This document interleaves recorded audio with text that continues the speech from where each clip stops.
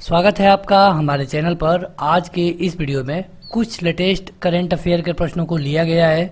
ये प्रश्न आपके आने वाले परीक्षाओं में पूछे जा सकते हैं। सब्सक्राइब करिए स्टडी फॉर जॉब्स चैनल को और बेल आइकन को दबाइए लेटेस्ट अपडेट सबसे पहले पाने के लिए।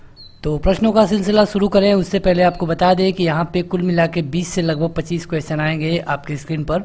एक समय पर एक क्वेश्चन आपके स्क्रीन पर होगा। और आपको दो सेकंड का समय मिलेगा। आप इन्हीं दो सेकंड के दौरान आप अपना उत्तर हमें कमेंट करके बताते रहेंगे। आप इसका पीडीएफ भी डाउनलोड कर पाएँगे और उसका लिंक आपको इस वीडियो के डिस्क्रिप्शन में दिया जा चुका है। तो चलिए शुरू करते हैं ये वीडियो। पहला क्वेश्चन आपकी स्क्रीन पर कि किस देश ने 9 जून 2019 को national strategy for well being 2031 स्वीकार किया है? और यहाँ पे आपको ऑप्शन मिल जाते हैं। अगर आपको पता है तो आप हमें कमेंट करके बता सकते हैं। इसके लिए सही उत्तर है यू ए ई ये इस देश द्वारा स्वीकार किया गया है और ये है national strategy for well being 2031 ये भी पूछा जा सकता है कि कब? तो ये 9 जून 2019 को स्वीकार किया गया। अगला क्वेश्चन कि हाल ही खबरों में रहा, सिनाई प्रायद्वीप, ये कौन से देश में स्थित है? तो जो ये सिनाई प्रायद्वीप की बात हो रही है, ये है मिस्र में। मिस्र में स्थित है सिनाई प्रायद्वीप। अभी ये लेटेस्ट में खबरों में रहा था। अगला क्वेश्चन कि प्रधानमंत्री श्री नरेंद्र मोदी 8 जून 2019 को मालदीव के यात्रा के दौरान भारत एवं मालदीव के बीच कितने समझौतों पर हस्ताक्षर किए? मतलब कि जब मोदी दूसरी बार प्रधानमंत्री बने हैं तो इन्होंने पहली यात्रा जो की है किसी भी देश की, ये है मालदीव। और इसके बाद उन्होंने दूसरा जो देश है, वो है श्रीलंका। तो सबसे पहले जब इन्होंने मालदीव की यात्रा की तो वहाँ पे इन्होंने मालदीव और इंडिया के बीच कितने समझौतों पे हस्ताक्षर किया? तो यहाँ पे छह समझौते पे हस्ताक्षर किया गया था भारत और मालदीव के बीच। मालदीव से क्वेश्चन पूछा जा सकता है, क्योंकि यहाँ पे जो मोदी हैं, यहाँ भारत के प्रधानमंत्री, उन्होंने पहला देश चुना है यात्रा करने के लिए, दूसरी बार प्रधानमंत्री बनने के बाद। जो मालदीव है, इसकी जो संसद है, इसको कहते हैं मजलिस। और मजलिस, इसलिए आपसे पूछा जा सकता है कि प्रधानमंत्री जी इस संसद को संबोधित भी किए थे। अगला क्वेश्चन किस राज्य ने हाल ही में गृह मंत्री के पद पर एक महिला की नियुक्ति की है। तो ये है आंध्र प्रदेश, और आंध्र प्रदेश में अभी अभी जो लोकसभा का चुनाव हुआ है, लोकसभा 2019 इसी के साथ विधानसभा का भी चुनाव हुआ है आंध्र प्रदेश में। देखिए, आंध्र प्रदेश ही नहीं, आंध्र प्रदेश के साथ उड़ीसा और इसी तरह अरुणाचल प्रदेश, इन सब प्रदेशों का चुनाव हुआ है। इसके साथ सिक्किम तो यहाँ पे जो आंध्र प्रदेश है, इसके सीएम बनाए गए हैं जगन मोहन रेड्डी और इन्होंने अपने गृह मंत्री पद पे एक महिला की नियुक्ति की है। तो ये आपसे पूछा जा सकता है, अगला प्रश्न कि किस राज्य में अन्नदाता सुखी भवा के स्थान पे वाई एस आर रैतु भरोसा, ये स्कीम आरंभ की गई है। सबसे पहले ये जान लीजिए कि जो ये रैतु है, इसका क्या मतलब है? तो रैतु को, का मतलब है किसान। तो पहले यहाँ पे जो स्कीम चलाई जा रही थी, उसका नाम था अन्नदाता सुखी भवा। अब इसको चेंज करके इसका नाम रख दिया गया है वाई एस आर रैतु भरोसा। तो ये चलाया गया है आंध्र प्रदेश में। इसके सीएम कौन है? जगन मोहन रेड्डी। तो आगे बढ़ें। उससे पहले आपके लिए आज का पहला क्वेश्चन आप हमें कमेंट करके बताइए कि उड़ीसा के नवनिर्वाचित सीएम का नाम क्या है। उड़ीसा के नवनिर्वाचित सीएम का नाम क्या है? आपको बता दें कि ये लगातार पांचवी बार मुख्यमंत्री बने हैं उड़ीसा के और इनकी पार्टी है बीजेडी अगला क्वेश्चन ये किस राज्य में पाँच उप मुख्यमंत्रियों की नियुक्ति हुई है? मतलब कि मुख्यमंत्री तो एक ही है, लेकिन जो उप मुख्यमंत्री होंगे, उनकी संख्या होगी पाँच। तो अभी तक आपने देखा था कि उत्तर प्रदेश में दो उप मुख्यमंत्री हैं, लेकिन अब पाँच उप मुख्यमंत्री बनाए गए हैं, और ये है आंध्र प्रदेश। यहाँ के सीएम कौन है? तो जगन मोहन रेड्डी। यहाँ पे सरकार किसकी है? वाई एस आर की सरकार है।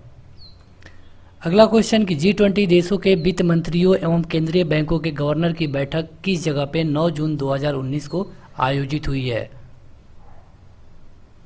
जो जी ट्वेंटी के देश हैं, इनके वित्त मंत्री और केंद्रीय बैंकों के गवर्नर, इन लोगों की बैठक हुई है 9 जून को।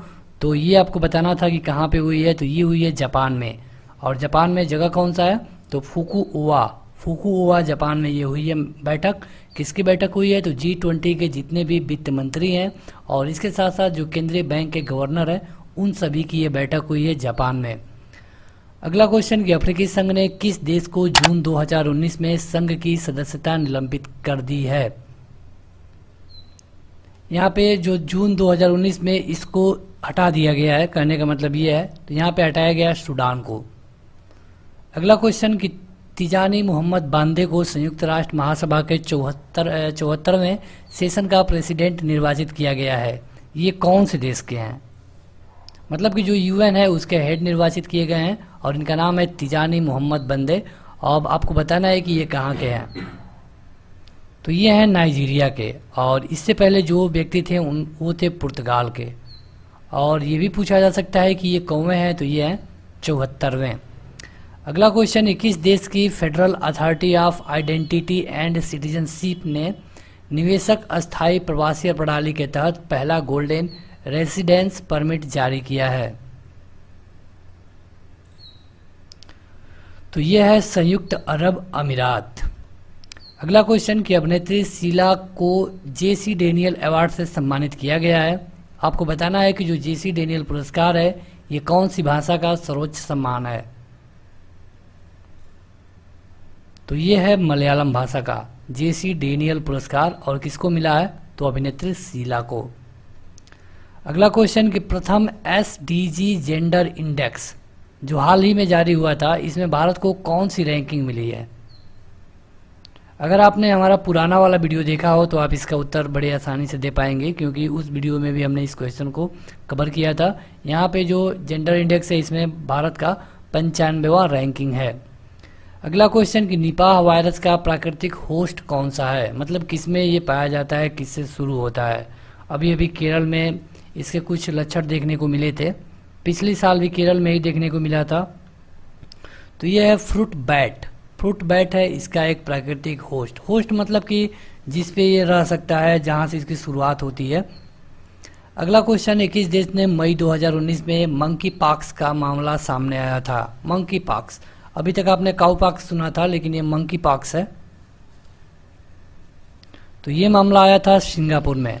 देखिए, इस वीडियो में आगे बढ़े उससे पहले आपको बता दें कि आप इसका पीडीएफ भी डाउनलोड कर पाएँगे और आप इस वीडियो को ज़रूर लाइक करिए। अगला क्वेश्चन है कि रूमा गुहा ठाकुरता, नाम देखिए, रूमा गुहा ठाकुरता, जिनका हाल में ही देहांत हो गया था, वो क्या थे? तो ये एक संगीतकार थे। अगला क्वेश्चन कि भारत के कितने हवाई अड्डों पर संपूर्ण बॉडी स्कैनर स्थापित करने की घोषणा की गई है? मतलब कि जब आप हवाई अड्डों से पास होंगे तो आपको ये फैसिलिटी से गुजरना होगा, संपूर्ण बॉडी स्कैनर से। तो यहाँ पे भारत के लगभग चौरासी अड्डों पे, जो चौरासी हवाई अड्डा है, वहाँ पे ये स्थापित करने की घोषणा कर दी गई है। अगला क्वेश्चन कि उद्योगपति ब्रिज मोहन खेतान, जिनका कि बानवे वर्ष की उम्र में देहांत हो गया, ये किस समूह से संबंधित थे? तो ये थे विलियमसन मेगर समूह से।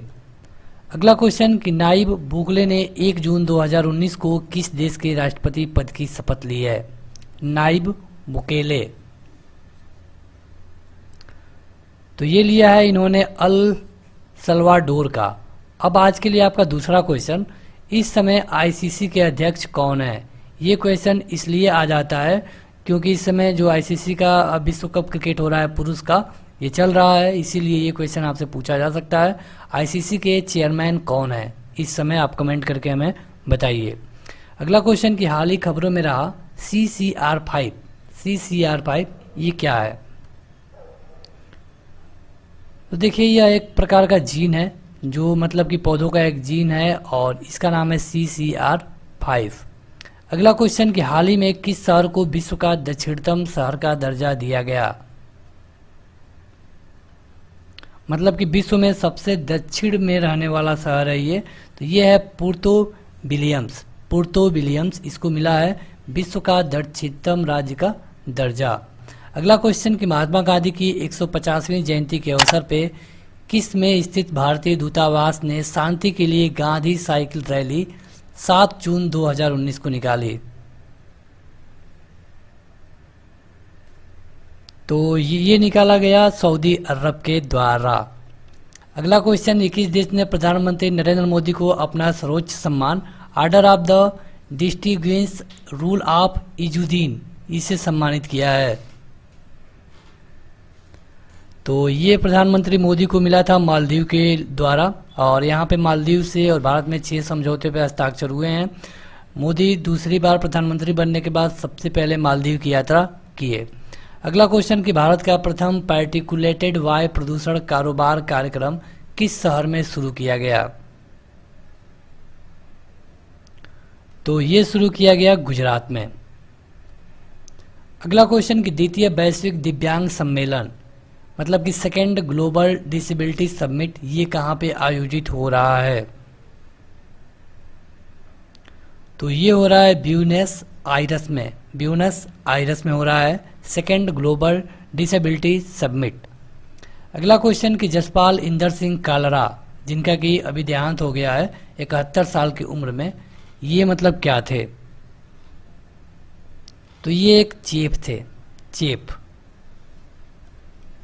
अगला क्वेश्चन कि एस सम्मेलन 2019 कहाँ पे हो रहा है?